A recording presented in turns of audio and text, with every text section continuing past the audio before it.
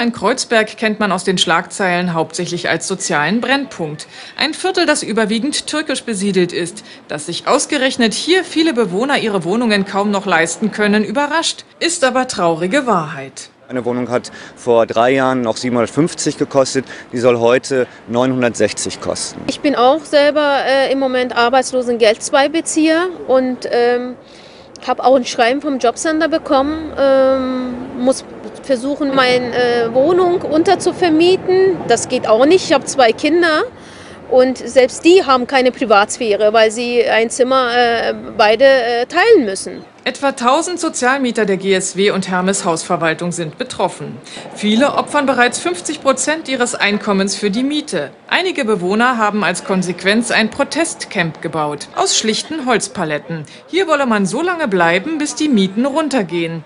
Es gehe den Protestlern aber nicht nur um die eigenen Probleme, sondern um die Mietpolitik des Senats in Berlin allgemein. Also er will einen Neubau machen, da muss man mal gucken, was da genau geplant ist. Er will äh, die landeseigenen Wohnungsbaugesellschaften anweisen, sozialer zu verfahren. Geht es um die Zweckentfremdungsverordnung, da will er auch ein bisschen dran schrauben. Aber er macht eigentlich faktisch nichts für die äh, Bestandsmieter, weder in dem Vergleichsmietensystem noch in den sozialen Wohnungsbau, was wir hier am Cottbusser Tor sind. Dass nun alle nach Marzahn ziehen müssen, könne doch nicht ernsthaft gewollt sein. Wo bliebe da die Berliner Mischung, mit der ausgerechnet Politiker und Tourismusvermarkter im Ausland gerne werben? Tag und Nacht im Wechsel kampieren die Mieter nun in der Hütte, um auf ihre Probleme aufmerksam zu machen.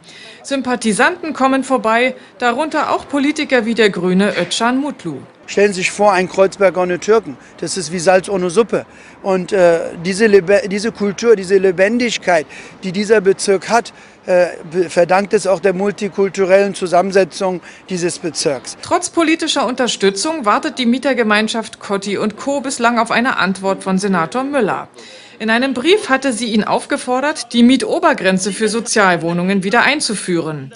In einer Pressemitteilung habe der Senator dieses Vorhaben jedoch als unbezahlbar bezeichnet. Für alle 150.000 Sozialwohnungen könnten das 100 Millionen Euro jährlich sein.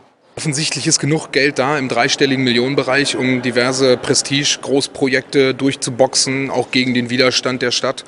Ähm, da muss Herr Wowereit wohl eindeutig mal seine Prioritäten überdenken. Senator Müller war für eine Stellungnahme bislang nicht zu erreichen. Auch die Hausverwaltung Hermes und die GSW halten sich bedeckt.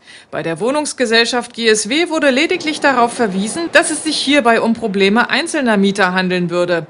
Doch die Holzhüttenbewohner werden so schnell nicht aufgeben. Sie haben eine Internetseite eingerichtet und planen weitere Aktionen. Der Kampf geht weiter.